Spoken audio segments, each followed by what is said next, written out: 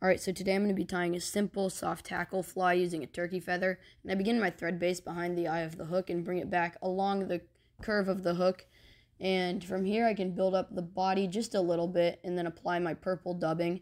And now I can take my turkey feather and tie it in and give it a few wraps using my hackle pliers so it stays in place. From here I can secure it and make it neater by just going back and tying down all the fibers evenly. And my fly is now complete.